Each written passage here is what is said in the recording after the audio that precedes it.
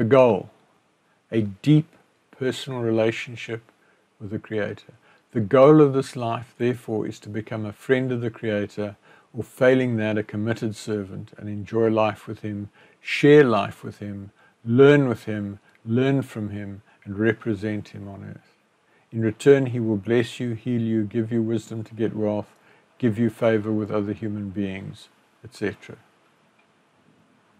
If you succeed, you will be granted to sit on a throne in heaven for eternity, with great authority, great esteem, great honor, great glory, and rule some part of the universe forever. It is possible that you may not qualify as a friend, which is the highest rank, but you will have the opportunity to qualify as a wise steward, the most junior rank of those who please the Almighty, or slightly more senior, a good and faithful servant, or more senior still, an overcomer. A more junior person to that, a friend, but also on a throne in heaven, with great prestige, esteem, and glory and authority. If you are filled with Father's Spirit and continue to worship people or objects such as Jesus, Buddha, the Bible, or the Quran, you can still make it into heaven.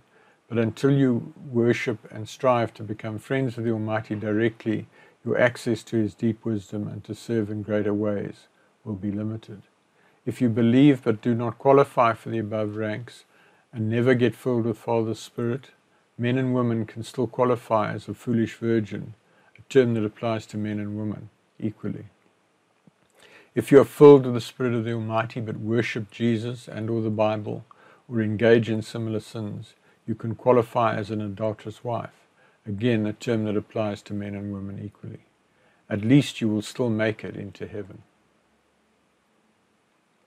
As a committed believer, it is yours to walk in divine health, divine protection, divine wisdom, divine prosperity, divine peace, etc., and have a deep personal relationship with the Creator in this life and great rewards in the life to come.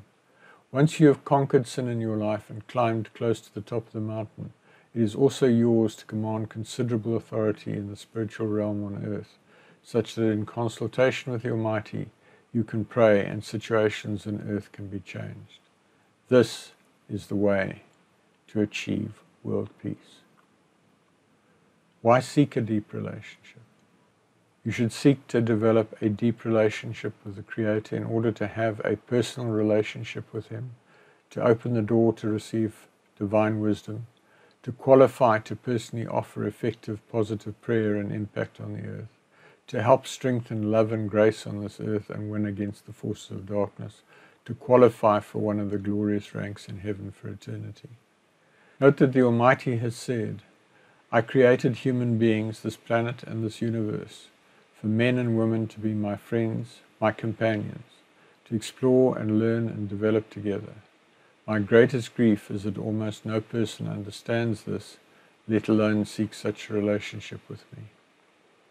You make a real effort to seek relationship with the Almighty, the rewards in the life to come are huge.